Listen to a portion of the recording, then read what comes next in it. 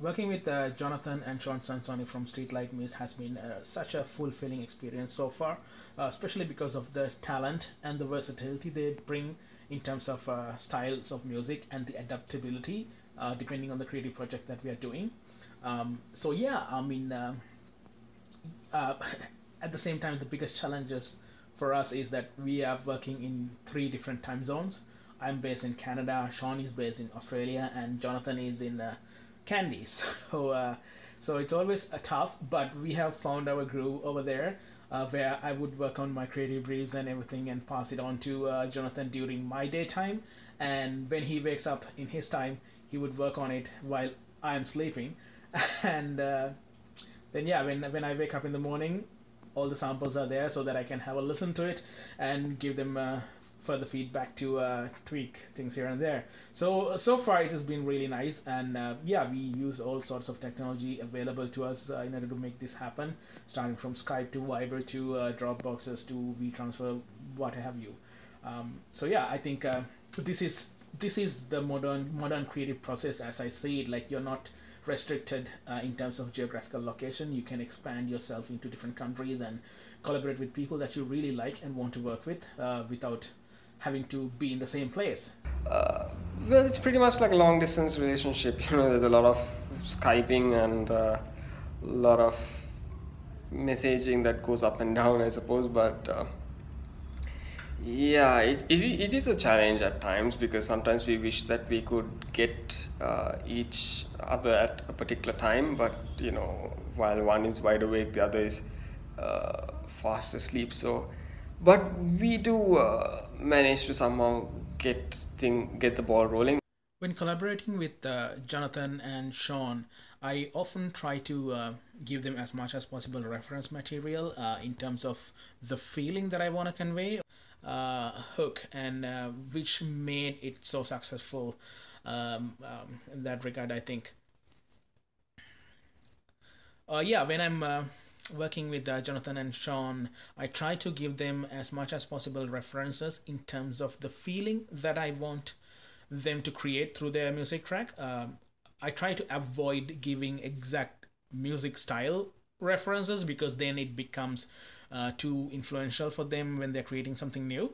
Uh, and even Jonathan and Sean, they don't like to have that sort of influence as well so it's more about references in terms of the human feeling the emotions that we are trying to convey uh, from the from the film or the documentary that we are uh, that we're creating. Um, and with with regards to an imperfection that's exactly was the case where i i gave them uh, a number of songs uh, lyrics and cinematic themes and even visual material which which sort of gave them the feeling that I was looking uh, going after, uh, and I think they hit the nail on the head. I mean, yeah, they got it really right, uh, uh, and and with the scars within, and even the background score for the film, I think that's what made it such a success because they really understood the theme and the feeling behind the project instead of just putting some musical arrangements and creating some song.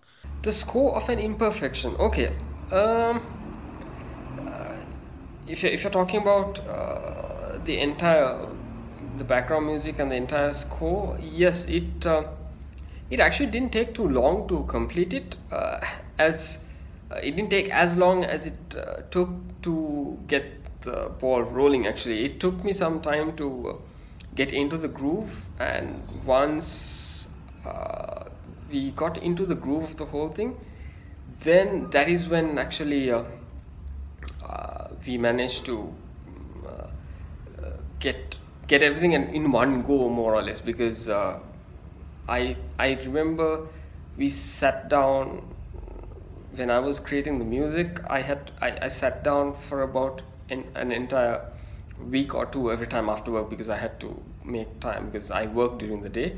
So when I get back home for those one or two weeks I remember I remember I just uh, sat and just scored the entire thing uh, right throughout and uh, I didn't stop for too much of uh, you know tweaking or anything and uh, it, it turned out pretty well actually. Just just a few tweaks here and there but uh, pretty much the basic thing we managed to somehow get it right. I mean I suppose when you're in that uh, when you're in the zone if I may put it that way creating this score for the uh, Imperfection movie was definitely challenging because that was our first project together, and it was a bit of a challenging storyline as well. The the the character the characters we were dealing with and the storylines that we were dealing with. Um, um, but uh, Jonathan and Sean they took all the uh, feedback really positively and they pushed the boundaries on, on that project, which result uh, all these uh, accolades that they received for this uh, uh, this song, "Scars Within." So. Um, so yeah, I think our creative process has been like that throughout since the beginning, where you know we never settled down for uh, you know, from the first idea or the first draft that we did, we always try to, you know, push further. And it always gave us uh, more to work with. And it, I mean, we, we saw how we grew as creative uh, professionals together. Yeah, and um, yeah, I mean, I mean, with like we are with Dishti and and the previous documentary that we did, the Spice Journey uh, Jonathan and I, like we, we for, for the first time we used like Sri Lankan instruments, Sri Lankan drumming, and Sri Lankan varnam and those kind of stuff, and mixed it with like Western uh, music and started creating fusion styles. Um, so uh, we Jonathan has and Sean has been really successful in that regard, and we are pushing the boundaries again with this team where we are actually bringing in drum local drum elements to create the suspense and the horror uh, we it in the film instead of just using the traditional horror western horror music elements to create that sort of uh, feeling. So uh, we're still at the very early stages of development in that project so i'm really excited to see what comes out of the other end uh, probably in 2018 uh, yeah the other important thing is the ost or the or, the what do you call the song which we actually uh, made for an imperfection uh, we were really struggling with the OST. You know, we were not we were not sure as to what we should, uh, how we should make this song, uh, or how we should go about with it. And then uh, suddenly one fine day, I just uh, this again happened when I was sitting in uh, at my office, and then suddenly I'm like. I just started writing the verses because um, I don't know. I just it, it all happened in one go and then the chorus i think uh, when i was at home i was just uh, fiddling around with uh, some melodies here and then and suddenly you know this thing came up and then i it didn't take too long to actually make it. Uh, then again here once it, it took me a while to really get into the groove. So that's what was a little um, that's what took time. But after that uh, the whole ost was kind of written in about one one and a half days.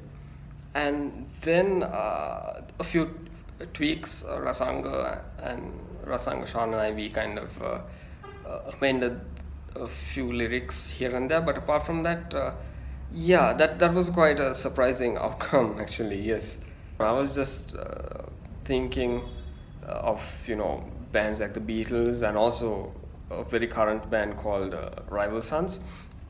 So the song was actually uh, on those lines and i because, i love the beatles and uh, and then even i think uh, when uh, i told nishan when he was mixing uh, nishan actually mixed the song for us uh, nishan daniel and i told him think beatles think beatles you know this is what it has to be so even the production of the even the guitars the drums and all that i kind of had it as live as possible because uh, I work just in a bedroom, so I can't really mic my guitars and all that. So whatever that was there, uh, I try to keep a lot of elements intact. Like I intentionally uh, had uh, one of the guitars tuned slightly out, so so that it adds a kind of uh, uh, adds a different dimension to it. So probably it worked. I I don't know. I'm, I'm just saying uh, what we did during the production. So little little things like that, and then came in the harmonies.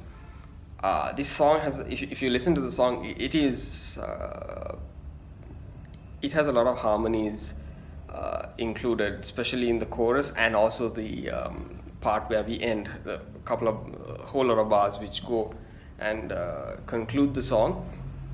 That is where we uh, really got the help of Christian and Stefan, that is uh, Stefan and Sean's brother, and uh, those guys really nailed it because I wanted the harmonies to be in a certain way, and uh, I, don't know, they just did it. Uh, it was a struggle at the recording studio because we we, we took quite uh, we paid quite a lot of attention to the harmonies, and we actually just went over and over till we got it right because there was certain I wanted the harmonies to go in a certain way, and you know these guys are so patient and so willing to work with me, and that was just amazing. And I think uh, all those elements put together is what really made that song what it is today. And uh, I think up to date, that has been one of our most solid uh, productions. I think yes.